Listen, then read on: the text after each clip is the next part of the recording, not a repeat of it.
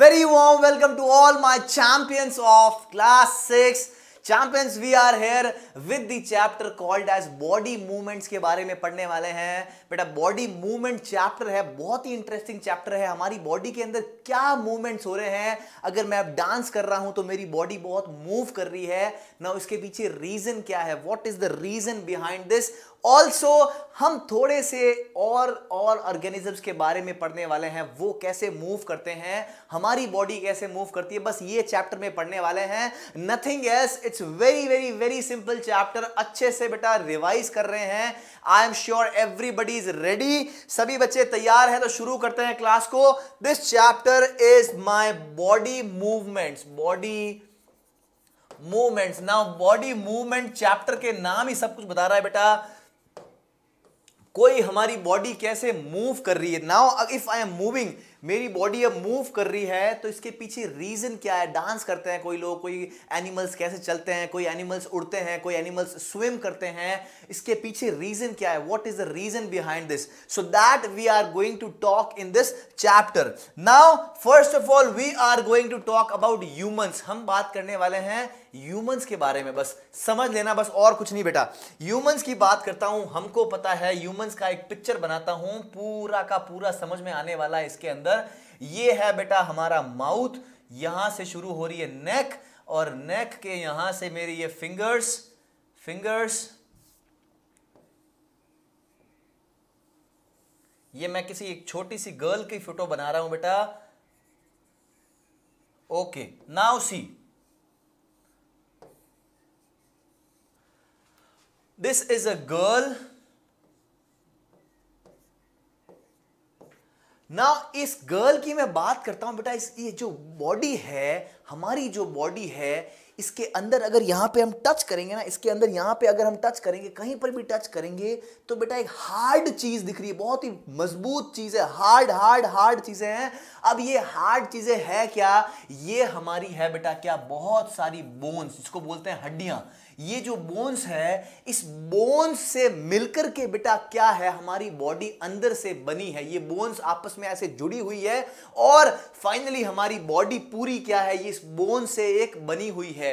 If I talk about ये एक बेटा स्केलेटन देखा होगा। ये स्केलेटन होता है हमारी बॉडी के अंदर। जो भी बोन्स होती है, उन बोन्स को सिर्फ़ दिखाया गया है। मैंने एक्सपेरिमेंट भी किया था, उसके अंदर सिर्फ़ ये हड्डियाँ दिख रही है। दीज आर दी बोन्स ये पूरी बोन्स है सिर्फ़।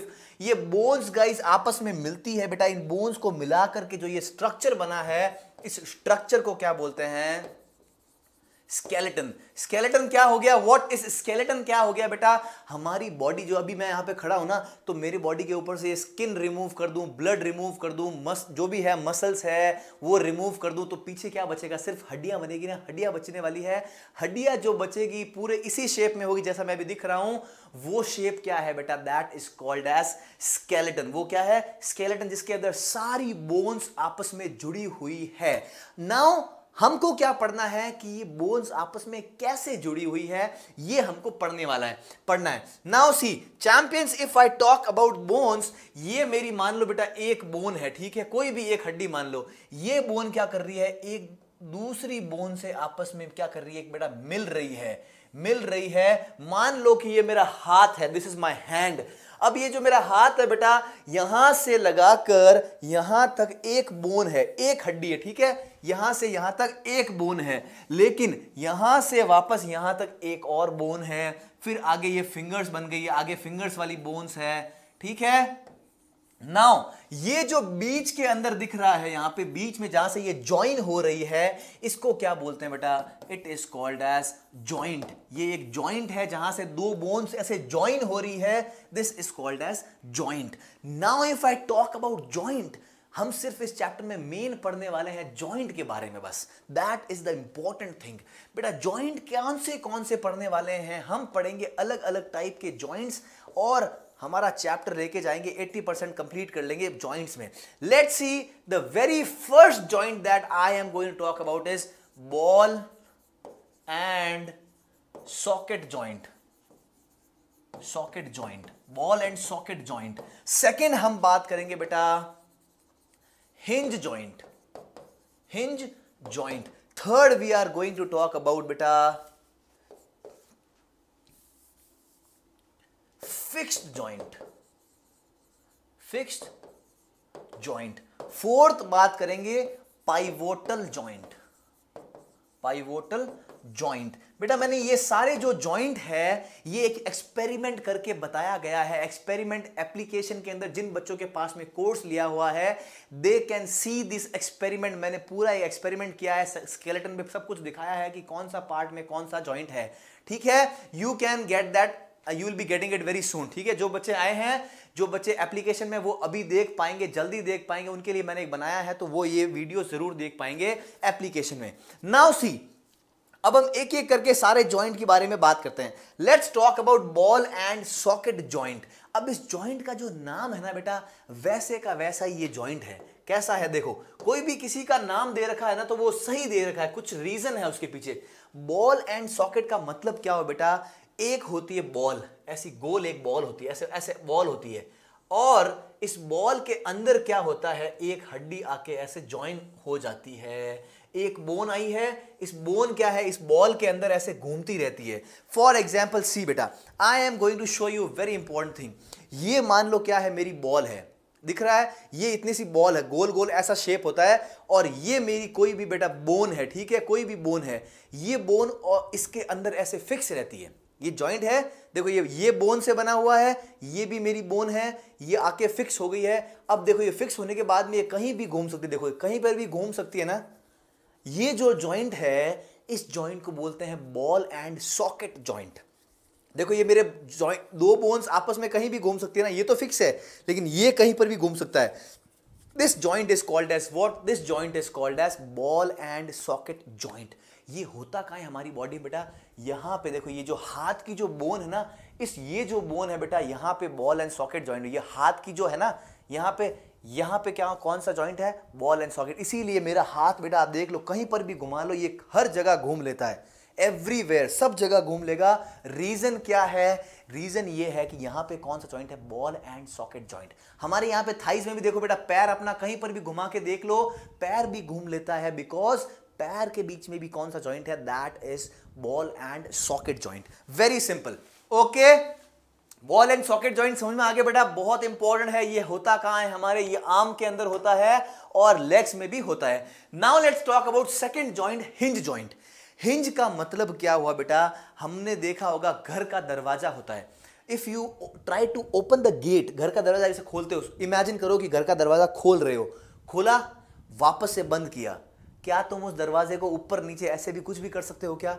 You can not do it because वो एक जगह से फिक्स होता है साइड में से फिक्स होगा, इसीलिए सिर्फ़ ऐसे खुलेगा, ऐसे जाएगा, ऐसे ऐसे फिक्स होता है। सेम टाइप का जॉइंट बेटा यहाँ होता है, ये हमारा देखो हाथ यहाँ से, ये बोन और ये बोन यहाँ पे जुड़ी हुई है, ये इसके अलावा कुछ नहीं कर सकता है, आगे जा सकता है, पीछे आ सकता है, वापस गया, वापस आया।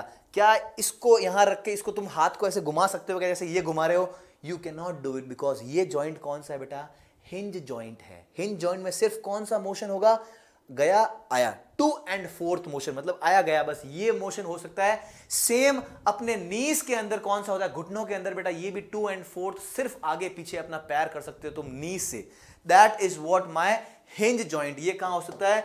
नीस और एल्बो ये कहाँ होता है? Knees and elbow now if I talk about fix joint fix joint बेटा कहाँ होता है? सी, हमारा जो ये सर है दिस हेड ये हेड बेटा सिर्फ़ एक ही बोन नहीं है पूरी, ये पूरी एक हड्डी नहीं है। यहाँ पे अलग अलग हड्डियाँ ये हड्डी अलग है, ये हड्डी अलग है, यहाँ पे हड्डी अलग होती है। ये सब आपस में ऐसे जुड़ी हुई है, आपस में ऐसे जुड़ी हुई है। अब ये दो बोन्स आपस में जुड़ी हुई है तो ये बेटा जॉइंट तो बन गया, लेकिन ये हिलती नहीं है, कभी आपस में हिलती नहीं है, बस एक ही जगह पर रहती है एंड दैट इज़ फिक्स्ड एक ही जगह फिक्स रहेगी, इसीलिए क्या बोला है इसको? फिक्स्ड जॉइंट ये कहाँ होती है हमारे बेटा? स्कल में. स्कल मतलब हेड ठीक है?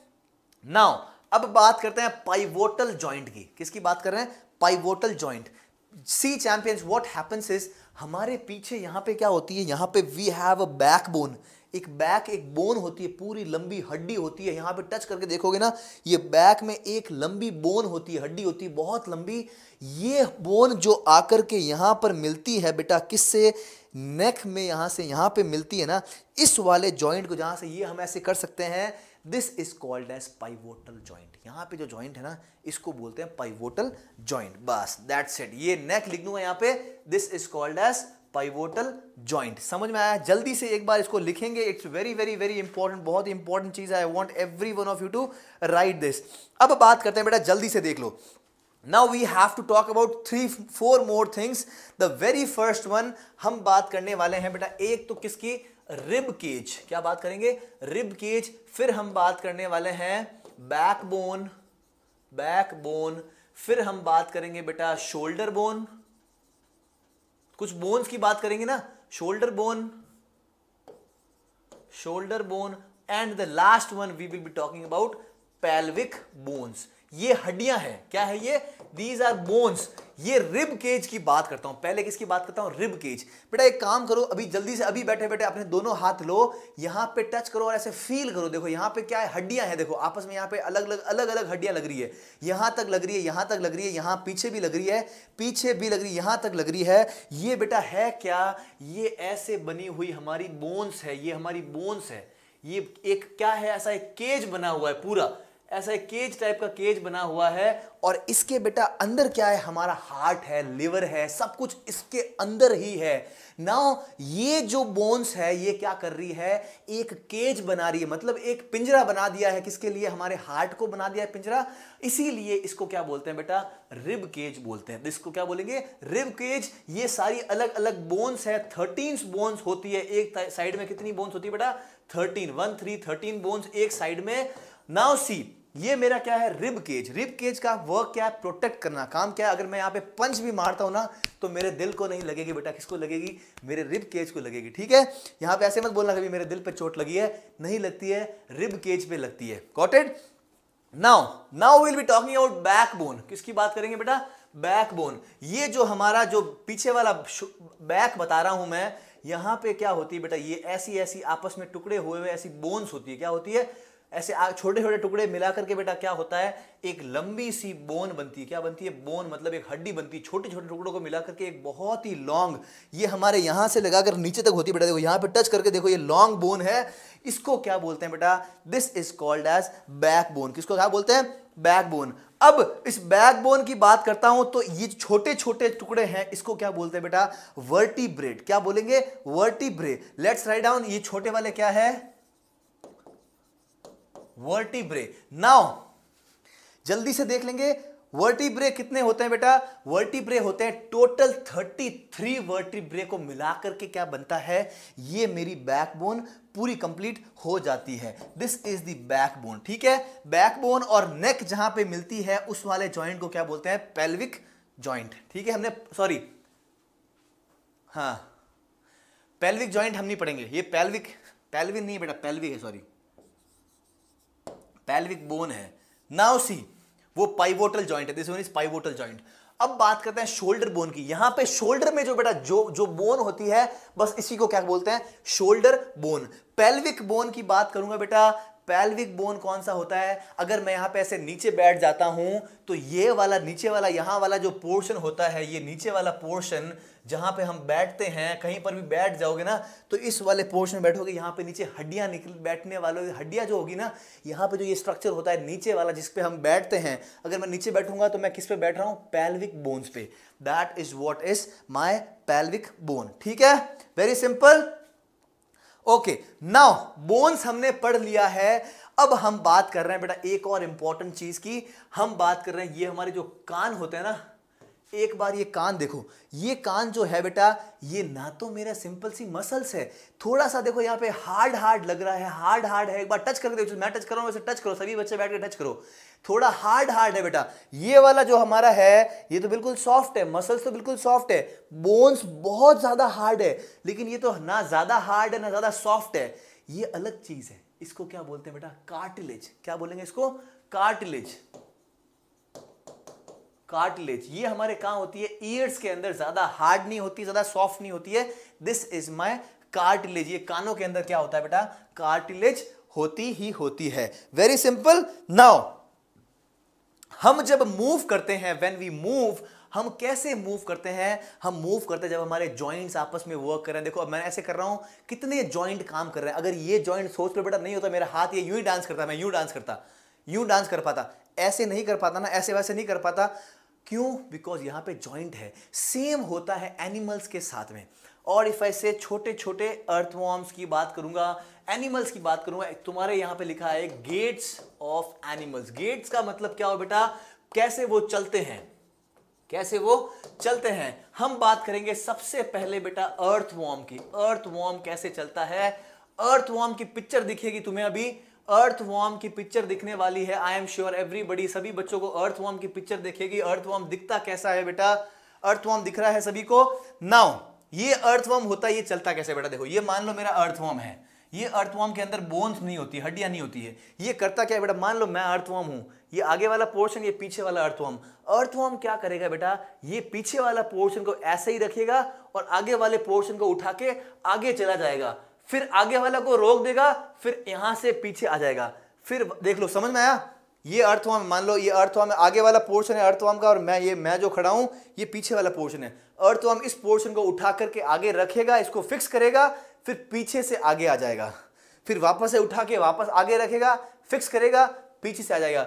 This is how my earthworm moves समझ में आया? Very simple earthworm now if I talk about the second one second की बात करता हूँ बेटा, मैं बात कर रहा हूँ स्नेल की। फ़ोटो दिख रहा होगा स्नेल का सभी बच्चों को। स्नेल जो होता है, ये भी बेटा धीरे धीरे मूव करता है ड्रैग करता है। और ये जो ऊपर वाला पोर्शन है, एक हार्ड कवरिंग है, एक शेल बोलते हैं बेटा इसको, ये मेरा क्या है? This is my snail very simple snail के बाद में मैं बात करने वाला हूँ बेटा बर्ड्स की। बर्ड्स क्या होती है? Birds I am sure every one of you know this birds जो होती है, उनकी बोन्स बेटा क्या होती है? बिल्कुल हल्की होती है। हॉलो बोल सकता हूँ। हल्की होती है। हल्की होने से क्या होगा बेटा? उनके जो फेदर्स होते हैं फेदर्स से वो बोन्स वो हमारी बर्ड्स क्या कर पाती है? उड़ पाती है। I am sure every one of you know this then we are going to talk about cockroach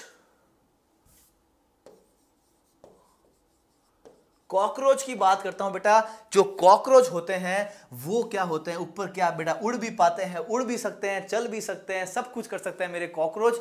ये ऊपर बेटे दो विंग्स भी होते हैं कॉकरोच के, और तीन पेयर्स होते हैं पैरों के क्या होते हैं?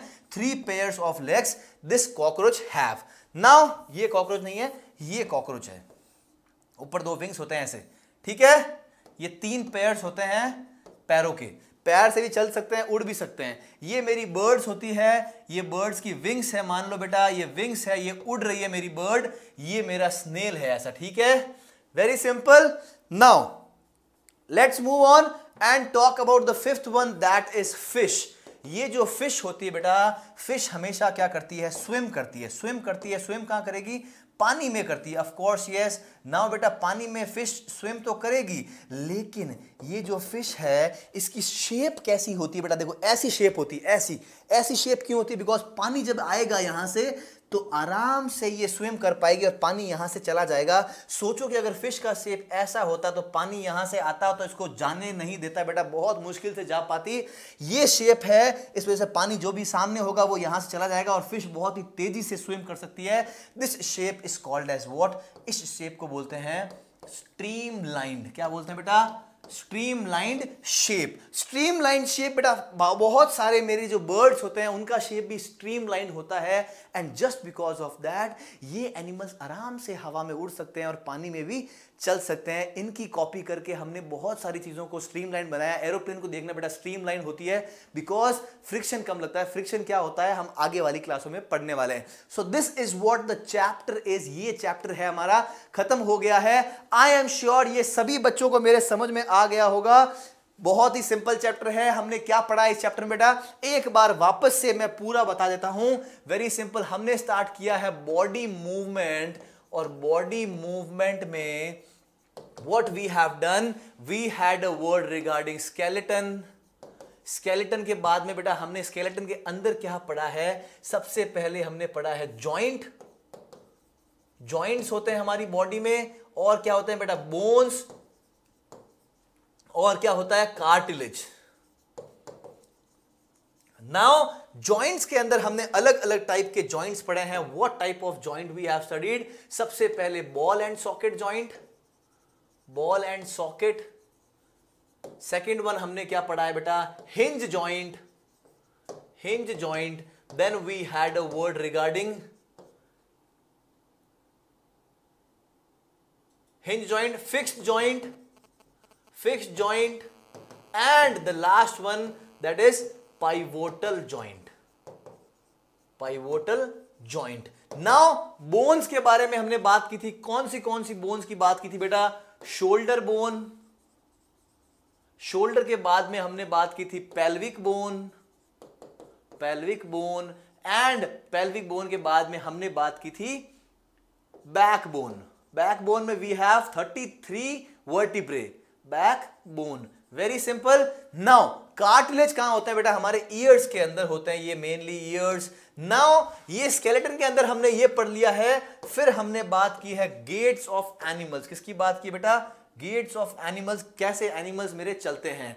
गेट्स ऑफ़ एनिमल्स नाउ इसके अंदर हमने कौन से कौन से एनिमल्स की चर्चा की है? थोड़ा थोड़ा पढ़ा एक बार, जल्दी से बेटा बता दो मुझे। अर्थवॉर्म की बात की है स्नेल की बात की है birds after birds we had a word regarding cockroach cockroach के बाद में हमने एक और बात की है बेटा, किसकी? फ़िश वेरी सिंपल अब एक और बता रहा हूँ बेटा स्नेक्स स्नेक्स क्या करते हैं? स्नेक्स बेटा स्लिटर करते हैं। स्नेक्स क्या करते हैं? स्लिटर करते हैं। चलते नहीं है स्नेक्स एक बार ये जल्दी से बना दोगे बेटा। I want every one of you to note this down सभी बच्चे बना देंगे ये। नाउ ये हमने बात की है पूरे बॉडी मूवमेंट की। नाउ बेटा ये बॉडी की मैं बात करता हूँ जो मसल्स होती है। अब एक होती है मसल्स नाउ मसल्स की मैं बात कर रहा हूँ तो मसल्स क्या होती है बेटा? ये देखो मेरी मसल्स नॉर्मली ऐसे है, लेकिन जब ये कॉन्ट्रैक्ट होती है तो ये बड़ी बन जाती है। मसल्स जब कॉन्ट्रैक्ट होगी तो ये बड़ा शेप बन जाता है। अभी मेरी बॉडी कम हो गई है, पहले ज़्यादा थी। नाउ सी ये कॉन्ट्रैक्ट हो रही है, जैसे ही मसल्स वापस से रिलीज़ हुई बेटा, ये मसल्स वापस से सेम जगह पे आ गई जैसे जैसे क्या कॉन्ट्रैक्ट हो गई, और ये बड़ा शेप हो गया। ठीक है? Now this is what the chapter is I want every one of you to बेटा बार बार देख लेना इसको पूरे चैप्टर को। पूरी क्लास हमने इसके चैप्टर के बारे में एक एक छोटी छोटी चीज़ एप्लीकेशन में हमने पढ़ी है। बच्चों ने देखी होगी, जो बच्चे एप्लीकेशन में अभी रजिस्टर्ड नहीं है, उनके लिए भी ये फ्री कोर्स है। I want every one of you to go through the revision thank you so much bye and take care